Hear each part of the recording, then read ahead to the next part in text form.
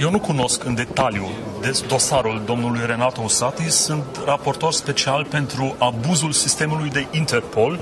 și este cunoscut faptul că, din nefericire, și în Republica Moldova există cazuri în care sistemul face abuz de posibilitățile sistemului Interpol. Deci eu am verificat sistemul Interpol și am căutat posibilități pentru a evita ca anumite state să folosească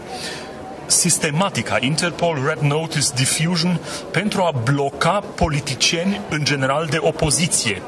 Am auzit că și în cazul acestui președinte de partid de opoziție, Renato Usati, s-ar putea să fie vorba de niște proceduri cu caracter politic. Eu personal nu am verificat acest caz, nu este datoria mea ca raportor, dar după ce vom decide astăzi raportul în plenul Comisiei Consiliului Europei, următorul an va fi folosit pentru a monitoriza evoluția în continuare și sunt convins că în acest context voi verifica și cazul Renato Usati pentru a vedea dacă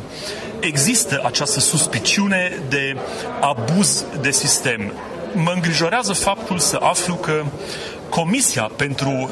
datele de la Interpol există suspiciunea să fie și această comisie sub controlul unor persoane care sunt în legătură cu abuzuri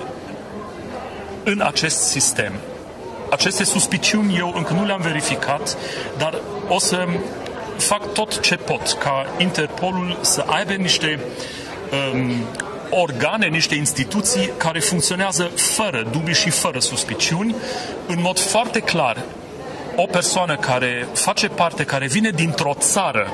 care este obiectul unor investigații, această persoană sub nicio formă nu are voie să activeze în verificarea legalității acestor cazuri.